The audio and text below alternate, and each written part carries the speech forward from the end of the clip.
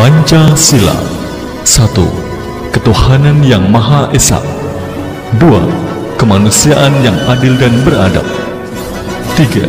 Persatuan Indonesia 4. Kerakyatan yang dipimpin oleh hikmat kebijaksanaan dalam permusyawaratan perwakilan 5. Keadilan sosial bagi seluruh rakyat Indonesia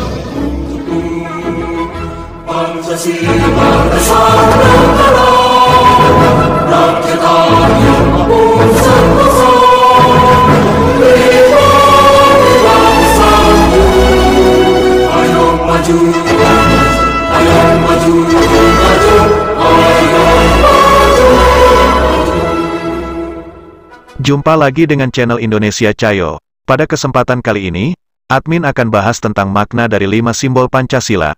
Perlu diketahui, lambang negara Indonesia adalah berbentuk burung Garuda, dengan kepala menoleh ke sebelah kiri. Dalam lambang Garuda Pancasila terdapat perisai, berbentuk seperti jantung yang digantung menggunakan rantai pada leher Garuda. Tak hanya itu, terdapat juga semboyan bertuliskan Bhinneka Tunggal Ika pada bagian pita yang dicengkeram oleh Garuda. Perlu diketahui, Bhinneka Tunggal Ika memiliki arti yaitu walaupun berbeda-beda tetapi tetap satu jua. Sebelum kita lanjut, jangan lupa untuk klik tombol subscribe dan nyalakan loncengnya untuk mendapatkan notifikasi terbaru dari kami. Sila pertama Pancasila berbunyi, Ketuhanan Yang Maha Esa, bintang emas merupakan simbol sila pertama dalam Pancasila, di mana lambang bintang tersebut memiliki makna sebagai sebuah cahaya, yaitu yang dipancarkan oleh Tuhan Yang Maha Esa kepada umat manusia.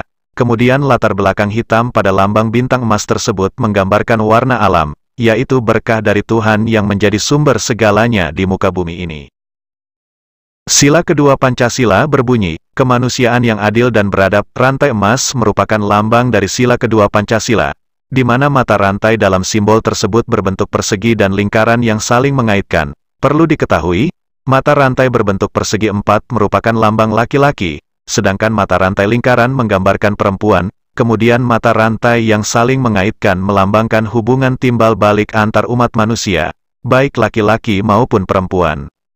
Sila ketiga Pancasila berbunyi, Persatuan Indonesia, perlu diketahui, pohon beringin merupakan simbol sila ketiga Pancasila, di mana pohon beringin dengan akar yang menjulur ke bawah diartikan sebagai tempat berteduh. Itu artinya, Pancasila sebagai dasar negara diibaratkan sebagai peneduh bangsa Indonesia, untuk berlindung dan merasa aman. Pohon beringin juga memiliki akar tunggang yang sangat kuat, yang menggambarkan persatuan bangsa Indonesia. Sementara, sulur-sulur yang ada pada pohon beringin melambangkan suku, keturunan, dan juga agama yang berbeda-beda di Indonesia. Meski berbeda-beda, mereka tetap bersatu sebagai bangsa Indonesia di bawah lambang Pancasila. Sila keempat Pancasila yang berbunyi, kerakyatan yang dipimpin oleh hikmat kebijaksanaan dalam permusyawaratan perwakilan. Kepala banteng merupakan simbol sila keempat yang diartikan sebagai hewan sosial yang senang berkumpul dan bergerombol, di mana saat banteng berkumpul, maka akan menjadi lebih kuat dan sulit diserang lawan. Jadi, lambang kepala banteng tersebut menggambarkan budaya bangsa Indonesia yang senang berkumpul, berdiskusi, dan bermufakat. Kepala banteng ini menjadi perumpamaan manusia dalam mengambil keputusan, yakni yang harus dilakukan secara tegas. Sila kelima Pancasila berbunyi, keadilan sosial bagi seluruh rakyat Indonesia, padi dan kapas merupakan simbol dari sila kelima Pancasila yang melambangkan dua hal yang dibutuhkan manusia demi bisa bertahan hidup, di mana padi melambangkan ketersediaan makanan, sementara kapas ketersediaan pakaian. Dengan adanya ketersediaan pangan dan pakaian, manusia akan bisa bertahan dan hidup dengan nyaman. Jadi, setiap warga Indonesia berhak atas pangan dan sandang secara adil dan setara tanpa membeda-bedakan. Perlu diketahui, bahwa terpenuhinya pangan dan sandang, merupakan syarat suatu negara dianggap sejahtera. Jangan lupa untuk klik tombol subscribe dan nyalakan loncengnya untuk mendapatkan notifikasi terbaru dari kami.